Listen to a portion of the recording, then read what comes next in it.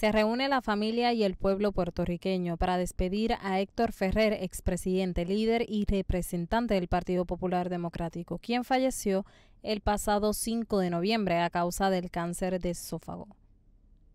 ¿De qué manera describes en vida a Héctor Ferrer? Héctor era una persona que te define con la palabra guerrero. Héctor enfrentaba todo tipo de problemas, todo tipo de situación con un objetivo, tratar de, dar soluciones a problemas y en alguna forma intervenir positivamente para que esa situación X que fuera se solucionara. En ese tipo de, actividad, pues logró tocar muchas, muchos corazones, logró muchas, mucha legislación que favorecían a los más desvalidos, a los pobres y a las personas que necesitaban y a las necesidades de los diferentes pueblos y, las situaciones que pudieran surgir. Eduardo, es un momento muy difícil por la pérdida de su padre. ¿Qué es lo más que vas a recordar de él? Eh, los consejos que él me daba, cuánto él me amaba y a mi hermano, ahí mi hermano Héctor y mi hermana María Elisa, que era un buen político, nunca se rindió en nada y eso es el mejor consejo que me ha dicho en toda mi vida que he escuchado.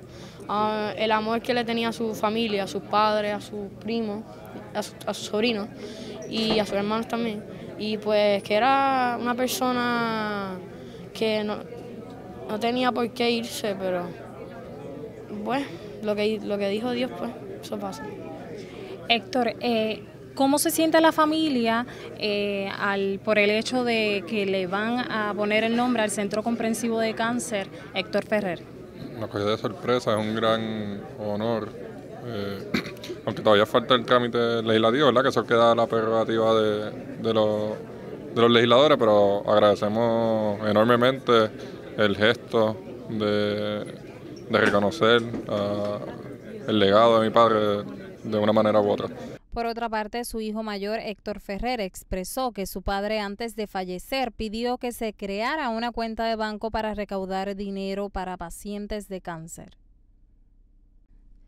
Las personas que quieran ayudar con alguna aportación lo pueden hacer a través de la cuenta bancaria del Banco Popular 396-062150. El periódico Puerto Rico Post se solidariza a la familia de Héctor Ferrer. Hasta aquí les informó Amber Nice junto a Paolo Ortiz para Puerto Rico Post.